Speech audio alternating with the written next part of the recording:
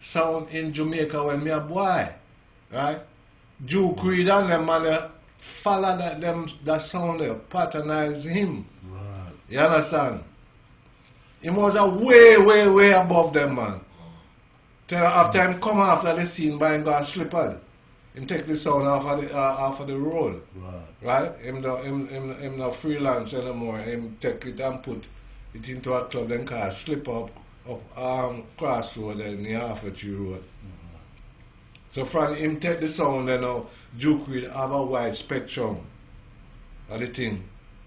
And Duke Reid start to Spread out. spread out big. That time Coxsone exist yet, you know. Me can tell people when Coxsone come on the sound. Cause me have a friend named Norman. We used to ride our bicycle and all them things, and listen sound and all them kind of things, Mm. you know. All North Street and all them things. But actually me come from country, you know. Me born nine mile away from Kingston.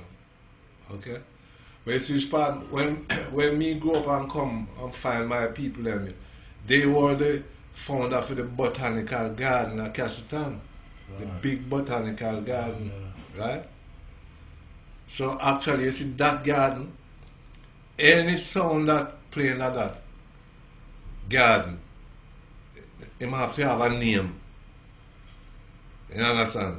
No far far sound not come in that go play. Credible name. Yes man.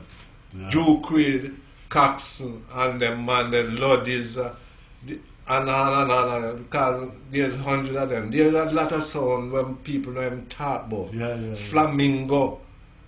You know what I mean? They have all that sound come from Furo, then called Paya.